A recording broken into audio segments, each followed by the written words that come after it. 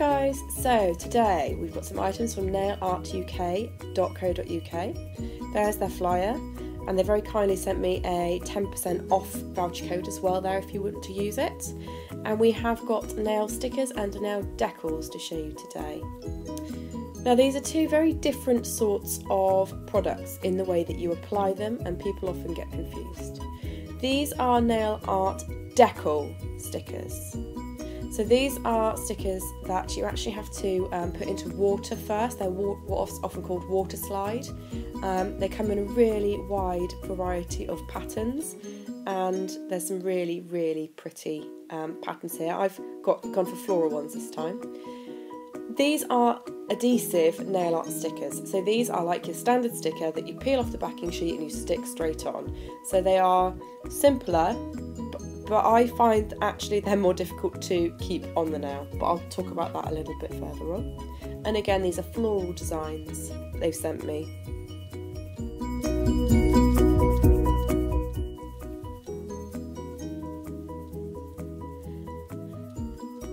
I particularly like these ones. These are really pretty, they've got little glitters on them and that's what I'm going to be using now to show you how we apply them. So I always use, um, oh here's my Colourpop, sorry. Um, I've also got a pair of fine nose tweezers. These really are the best for getting them off. Um, flat nose ones you're going to struggle. When you're using gel polish you need to apply two coats of colour, remove your inhibition layer and you're going to wait for that um, to dry and then you're literally just going to stick your sticker straight onto that layer. Now I find this is a bit fiddly. Can you see how fine nosed these, these um, tweezers are? That's really going to help you get the sticker off the page um, in one solid piece. That's dry now, so we can go ahead. Now I have found uh, in the past I've bought cheap stickers from China and they are near impossible to get off the sheet in one piece. They are really, really difficult. Now if you just try and slide your tweezers on underneath like that, it's not going to work. They're not going to come off nicely, you're going to end up catching up the edges, you're not going to get a nice clean image. If you bend the sheet ever so slightly like this, look, they pop up and you can just grab the corner of it, so it's much easier to do it that way. If you place it onto the nail fairly loosely, I haven't stuck it down properly there, you can actually move it around until you've got it just about where you want it and then you can just use pad of your finger or your thumb or whatever, use wipe if you don't want to contaminate with oils, and just press it down really firmly onto the pop, and that is literally the sticker on. Now the issue when putting stickers on under gel polish, or over gel polish I should say, is keeping them on. People often say, oh I find they catch, they peel up, they don't stay on. You need to top coat twice. There's no two ways about it, that's the only way I've ever found to keep them on. I use a nice, fairly thick, glossy one, and I'm using a no wipe top coat here. And the first layer I tend to actually put on fairly sort of thinly, and I give it a good scrub in so that it really does get on. And then I go back and I float my brush over to make sure I've got a really nice, even coverage that's going to seal that sticker in. So that's the first coat.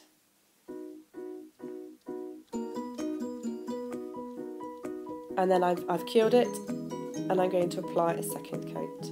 Now this is the point where you need to make sure that it is all stuck down properly. If you've got any little corners sticking up you might want to snip them off and then you need to top coat again in exactly the same way. So floating with a good amount of product on your brush over the top, sealing the entire nail. One thing I would say with these stickers is I wouldn't recommend you put them anywhere near the free edge put them near the free edge, they are far more likely to catch and peel up, and much more difficult to seal in. That one's been cured. And you can see there the gorgeous sparkle from those stickers. They really are beautiful, and it is completely smooth. There's no way it's going to catch.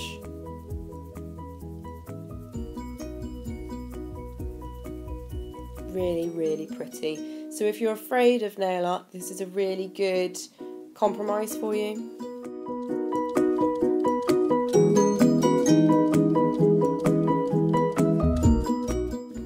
Now we're going to do the slightly trickier one. These are the decals and they are water slide decals. On the back of the packet there were really nice clear instructions to me which was great. Um, the only thing I would change slightly about it is maybe how long I leave it in the water for. It says 10 seconds um, on the back of the packet. I left it for at least 30 seconds I would say just to make sure that the um, decal had slid off the back.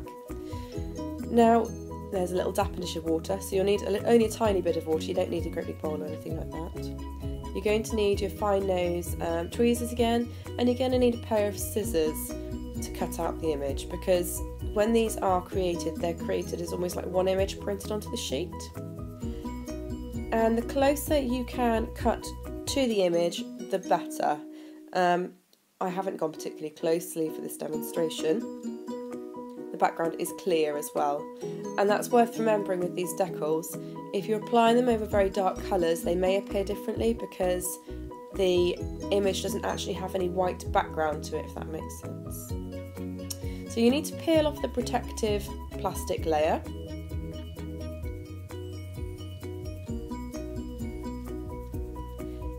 And then literally just pop the whole thing into the water and leave that. And as I said, I left it for a good 30 seconds or so. Here's a pop that I've already gel polished and I'm just removing the tacky layer from the colours. I haven't top coated at all yet.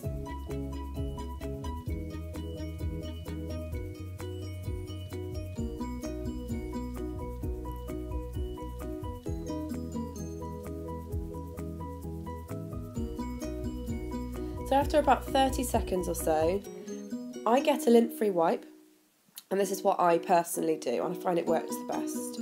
So you get your lint-free wipe and you get your tweezers.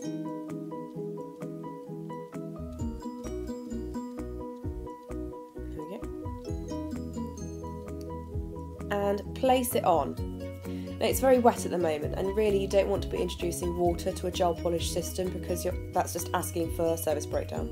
So what I tend to do is I pat with another lint-free wipe to remove as much of the excess water and you can already see that the design has slid off the back there and there it is. It is still a little, a little bit damp at this point. And again, you can actually position it whereabouts you want it, put it on really lightly, move it around slightly. Once you're happy with where it is, I use another lint-free wipe to pat it down and also to remove any excess moisture that might be on the image because again, you don't want to have um, any moisture sealed in underneath your gel top coat or you'll end up with surface breakdown.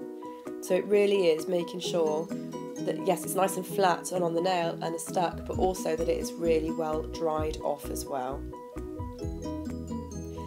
And again with these we're going to seal them in in exactly the same way as we sealed in um, the normal stickers with two layers of top coat.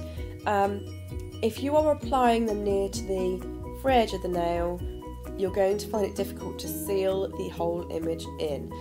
I often get asked, what do you do if you're doing a whole nail decal? Um, so if I was doing a whole nail decal, I'd apply it to the nail, I'd make sure it's completely patted down. I'd use a little bit of acetone on a, on a brush and tidy up around the edges.